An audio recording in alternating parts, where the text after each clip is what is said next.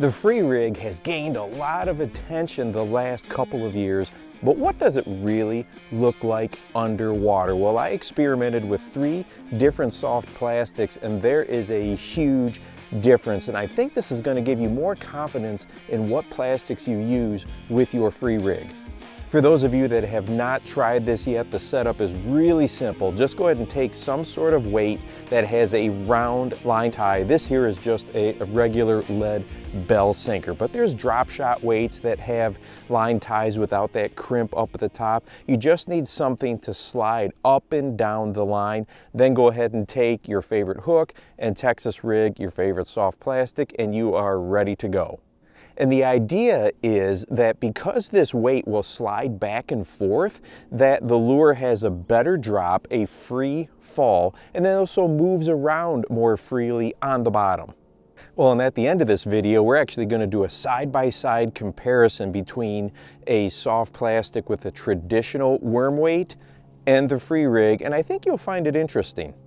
Let's go ahead and start off with a straight tail worm. Now this is a filler worm, very similar to a robo worm, one of my absolute favorite soft plastics. The first thing that you will notice is on the fall, on the drop, because it's a slender lure, there's practically no weight and lure separation. So it just shoots right to the bottom very quickly. I don't think this would be a surprise for anybody and then when the weight actually hits the bottom, there's really none of that free floating separation in that last part of the drop that we hope for when we are throwing a free rig. So it's basically non-existent with a very slender soft plastic. Now, when the lure is down on the bottom, it does have a very nice action. It takes very little movement from the rod to impart that, that real nice crawl, that moving side to side. It looks really good. Well, then I went ahead and tested the pop. Part of the idea with the free rig is that when you pop that lure,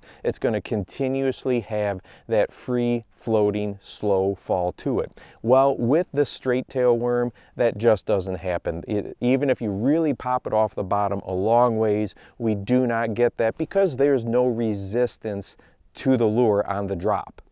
Lure number two, let's go ahead and take a look at this soft jerk bait, another one of my favorite soft plastics. Very similar to the worm on the drop, so it shoots down through the water column really quickly as well. But with the body design of the soft jerk bait, because it's a little bit different when it gets to that very last part of the fall. When it drops, the lure does have a very different side kick, a slight kick to it as it hits the bottom of the lake bed.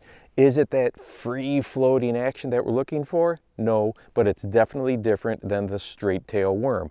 And like the plastic worm, when it's on the bottom, it has some really nice action to it. Doesn't take much movement. Once again, it, you know, it wiggles, it twitches, it does all these things that we really want it to do down there on the bottom when the weight is closer to the plastic. And then when I pop this one off of the bottom, it will continue to do that slight kick as it hits the bottom, but still doesn't really have that free floating action that often we think is happening when we're on the boat deck or on the shoreline. In just a second, we're going to do a side-by-side -side comparison between a standard worm weight and then the free rig weight. But first, let's go ahead and get the bait number three. Next up is a soft plastic craw and right away on the drop because this body design has more resistance we are getting that free floating action. Look at the separation between the weight and the soft plastic. There's a lot of it really quickly and then when the weight hits the bottom that plastic really has that floating action. That we often think that we are getting with the free rig. And then down on the bottom once again it looks really good. It has good side to side wiggle to it action. Very happy with this. Now when I popped the lure and gave it that big pop once again every single time it's got that nice floating down action that we want now I will say it takes a substantial pop of the lure. You've really got to give it a good separation between the bottom and then the top of that pop to get that action coming down. But the craw, because it has really good resistance, does exactly what we picture in our mind's eye. So as you're picking soft plastics, make sure that you go ahead and pick one with a lot of resistance if you want that free floating action. Really important. Well, let's do that side-by-side -side comparison between a worm weight on this filler worm and then the free rig weight. And when I first compared the two of them, I thought, well, there's just not much difference, not as much as I was expecting. But the more I looked at it, when I went back and repeated it and watched it again and again, definitely I feel that the worm weight has more of a side sliding scooting type of a retrieve and action with this worm weight where the free rig has a more of a up and down vertical type of a presentation. Now is this a huge difference? No i didn't think so. But is it enough is it going to matter? What do you think? Go ahead and drop some comments down below if you've got some free rig experience and what you found. Share it with the rest of us here. But I did find it interesting to put these side by side.